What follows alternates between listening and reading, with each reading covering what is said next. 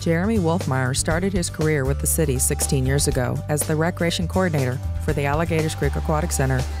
A few years later, when the Renaud Spirit Center opened, he added the role of recreation manager, overseeing fitness and aquatics while still overseeing Alligators Creek Aquatic Center. In 2017, Jeremy transferred to the city's Parks Department. Today, I am the Parks Manager. I started uh, back in March of 2017. So I see, oversee the operation of the Parks Division. Um, with that uh, comes eight parks, uh, currently seven parks, and we're adding that eighth one, which will be O'Day Park, and that opens up in 2019. Uh, so with that, we have four passive parks, four athletic parks, and then we have to maintain those parks and keep those in, in good working order um, seven days a week.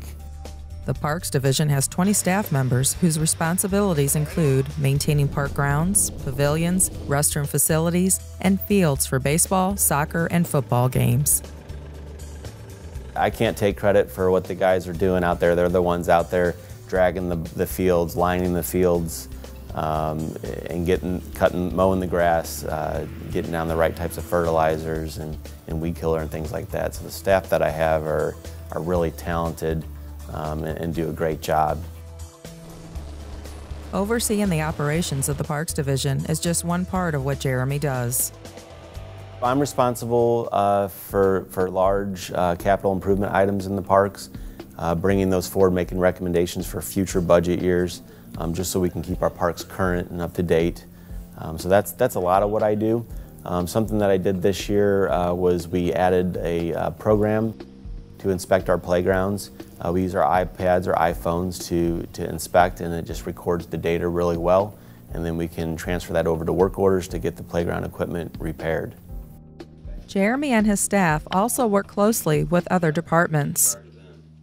Another aspect to my job is to make sure that we're providing support to the Recreation Division as well as tourism and festivals. Uh, tourism and Festival has, of course, HFF, Heritage and Freedom Fest Festival. Um, they also have jam-ins, uh, food truck frenzies, things like that. So the staff are out working and setting up those events. Um, we also provide support at Celebration of Lights uh, to assist tourism and festivals with getting that set up with it, which is usually a, a good three month operation.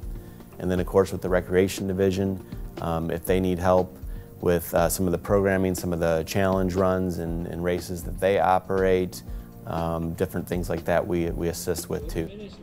Jeremy is also part of the Bicycle Pedestrian Committee. He, with other committee members, address the needs important to bicyclists and walkers. So something that's going on right now um, that the city is, is, installing is the new uh, shared use path that goes from Feise down to Technology uh, Drive. So that's in the process of being completed and I'm really excited to see what happens with that. Jeremy enjoys working for the city for so many reasons. I love working for the city of O'Fallon. Again, I've been here for 16 years. Uh, it's, it's really, uh, it's just been a blessing for myself and my family. Uh, what I like about working for O'Fallon is just being able to make a difference with the residents. It's what we uh, get excited about.